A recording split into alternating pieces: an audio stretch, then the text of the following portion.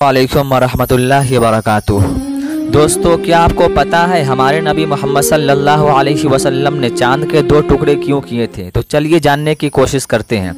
एक मरतबा कुफ़ार मक्का हमारे नबी मोहम्मद सल्लल्लाहु अलैहि वसल्लम के पास आए और कहने लगे, अगर आप सच्चे नबी हैं तो चाँद के दो टुकड़े करके दिखाएँ।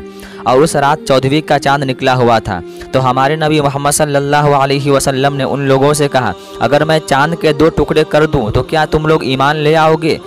तो उन लोगों ने कहा हाँ हम ज़रूर ईमान ले आएँगे। तो हमारे नबी मोहम्मद सल्लल्लाहु अलैहि वसल्लम ने अल्लाह से दुआ की और अपने मुबारक उंगली से चाँद की तरफ़ इशारा किया तो चाँद दो टुकड़े हो गए। एक टुकड़ा मगरिब की तरफ़ चला गया और दूसरा टुकड़ा मशरक़ की तरफ़ चला गया। और जितना वक्त असर से मगरिब के दरमियान होता है, उतने देर तक चाँद उसी तरह रहा और उसके बाद आपस में मिल गए। ये देखकर लोग हैरान रह गए, मगर फिर भी वो लोग ईमान नहीं लाए, क्योंकि उनकी किस्मत में ईमान नहीं था।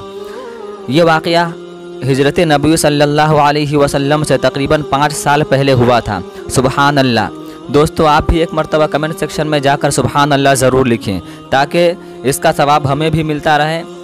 और इस तरह के इस्लामिक इन्फॉर्मेशन को हासिल करने के लिए मेरे चैनल को ज़रूर सब्सक्राइब करें।